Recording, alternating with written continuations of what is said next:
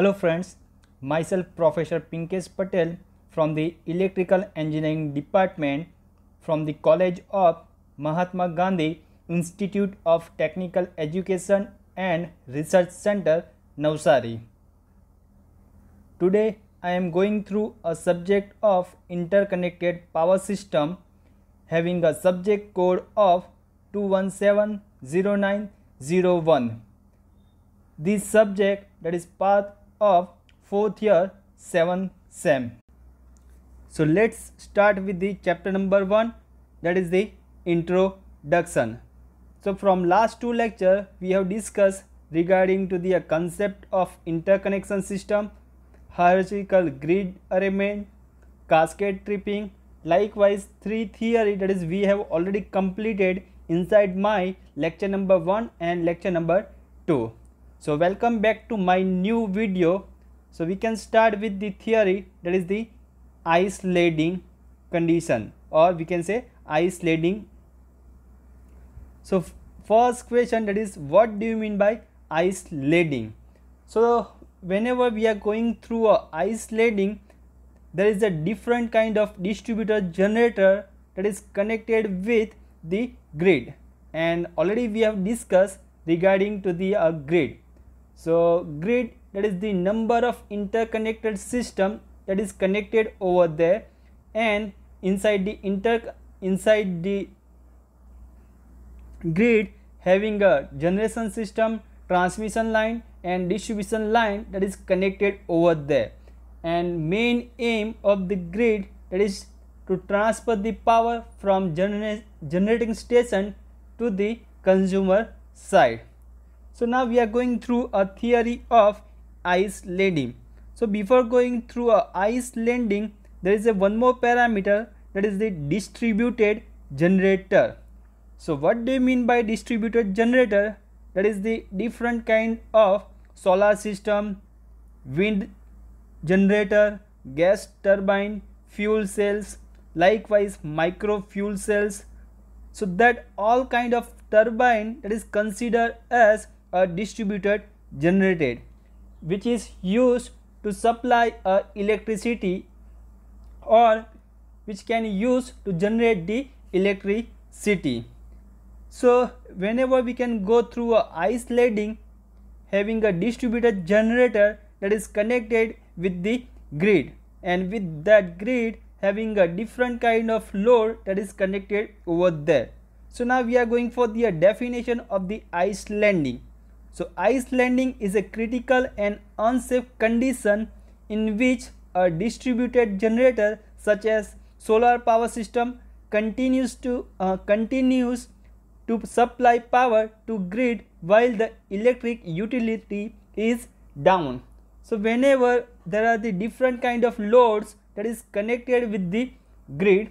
So suppose is there any unbalancing condition that is occur at the lower side or suppose is there any frequency deviation that is occur at the lower side. So at that time there is a islanding that is the one kind of network that is connected over there and which can uh, which can try to protect the distributed generator as well as grid from the damage side.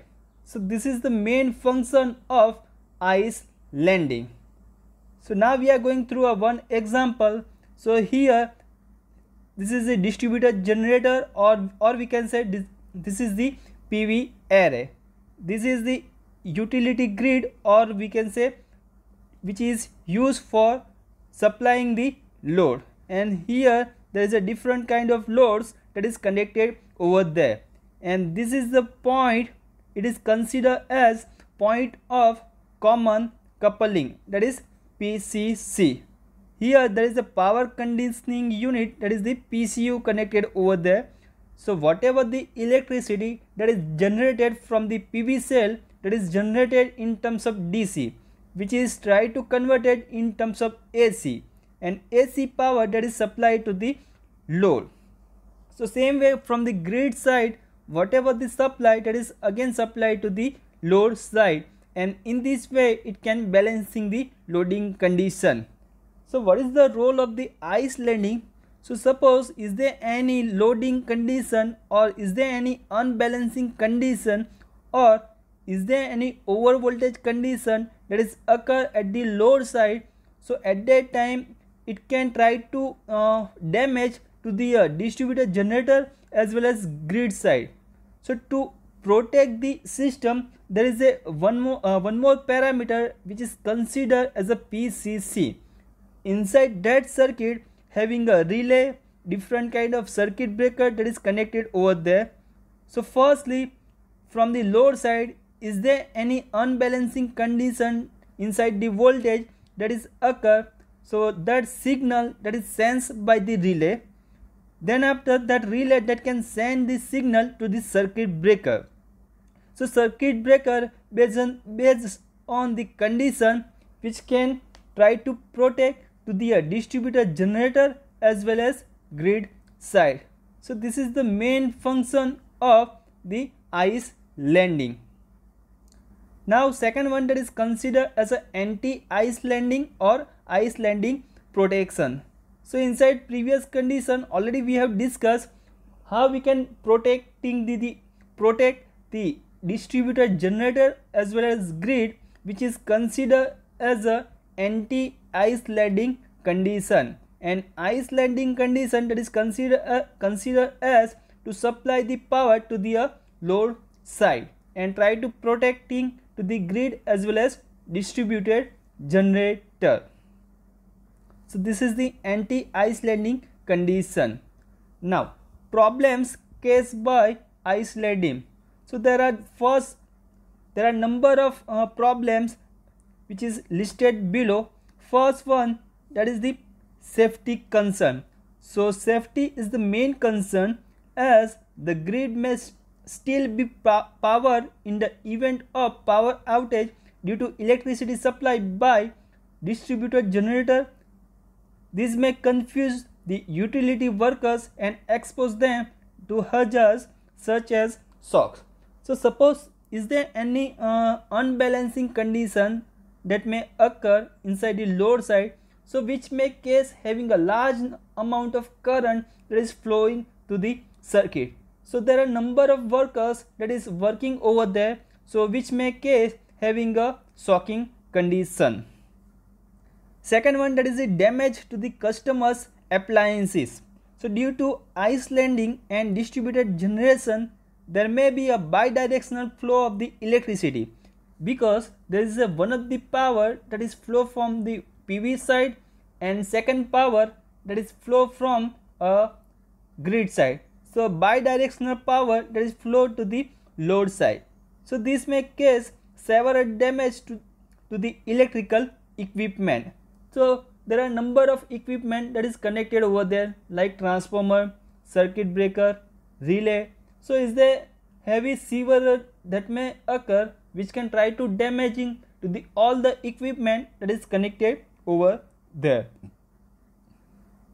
Third one that is the inverter damage. So already we know that the inverter which can be used to convert from DC to the AC side. So in the case of large solar system several inverters are installed with the distributed generator so which may case having a problem to the inverter side. Next one that is the ways to detect and resolve islanding. So how we can try to uh, solve that kind of problem. So first one that is the active islanding detection. Active detection method involve the technique of constantly sending a signal back and forth between the distributor generator and the grid to ensure the status of electricity supply which means that we can try to put one of the component in between distributor generator and grid which can try to sense the signal. Is there any uh, over voltages condition or is there any frequency deviation that may be occur at the load side? And then after which can try to send the signal to the active element Next one that is the passive islanding detection. Passive detection method on the other hand make use of transients in electricity. So such as voltage current frequency and and which can be used for detection purpose but the quickest and easy way to prevent any problems is to shut off the distributed generator when requested by the utility which can try to uh, which can try to provide protection to the distributed generator. So, this is regarding to the isolating condition. Next one that is the load dispatch center. So, first one that is the what do you mean by load dispatch center? So, load dispatch center that is the one kind of organization which can uh, provide the electricity from generation station to the uh, consumer side. So, the main function of the load dispatch center that is the to supply the power from generating station to the load side. So, now what are the uh, the objective of the load dispatch department are that is the matching the power demand with system integrity, reliability and security of generation and transmission faculties, regulating the system frequency, optimum utilization of resources, quick restoration of norm normalcy after system disturbance. So here in the India, national and regional load dispatch center are available. So in the India, there is a one national load dispatch center that is located which is considered as a NLDC that is the National Load Dispatch Center. And having a 5 regional load dispatch center that is considered as RLDC. So here that is the southern uh, southern region, here that is the western region, that is the northern region, this is the eastern region. And here that is the northeastern region and individual having a branch that is locating that is here that is the Delhi, here that is the Mumbai, here that, that is the Bangalore, here that is the Kolkata and here that is the Shillong. So all regional load dispatch center that is locating in the India that is mentioned inside that figure. So first one that is the Northern Regional Load Dispatch Center that is the NRLDC Northern Region Load Dispatch center. Second one that is the western regional load dispatch center. Third one that is the eastern regional load dispatch center. Fourth one southern regional load dispatch center. And fifth one that is the north east northeastern regional load dispatch center. So all kind of national load dispatch center and regional load dispatch center that is locating inside the india so now we are going through a grid arrangement or what is the actual flow for the uh, different kind of LDC load dispatch center.